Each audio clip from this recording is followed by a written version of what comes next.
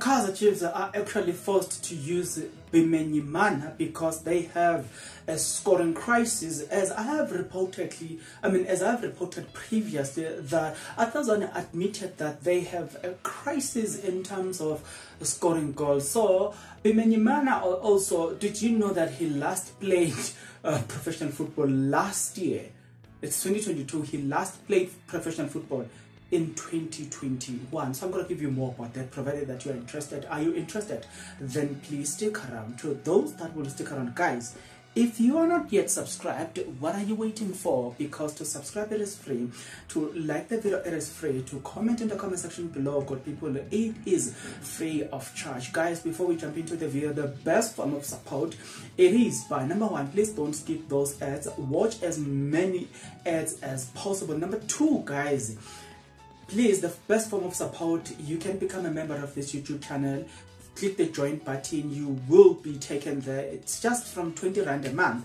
Number three guys you can donate there's just a once off button. You can click that button click that join button and be, look, become a member. I mean sorry donate as much as you can. It is just a once off thing. Now having said that good people like i said bimenyimana last played here professional football in 2021, except the fact that he, was, he, he featured on the African Cup of Nation qualifier but still they use an unfit player. So Kaizer Chiefs, according to Soccer they've reportedly uh, put him uh, uh, look, under intense training, but they're not worried necessarily about the fact that he last played a professional game last year and it has been said that even this coming weekend you can expect Bimenyimana to be part and parcel of the team that will be playing. And I just forgot the fixture, but I will keep you posted about the fixture. So it has been said that uh, Bimenyimana forms part and parcel of the team that will be playing this coming weekend.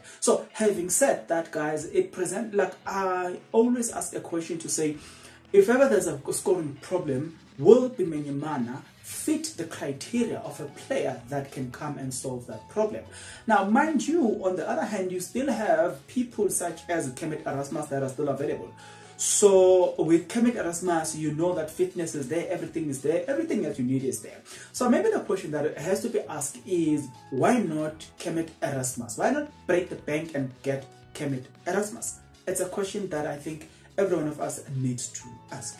But yeah, guys, until the next episode, guys, please, uh, before we exit the video, get into the comment section below. Tell me what you think about it. Until the next episode, guys, please, take care.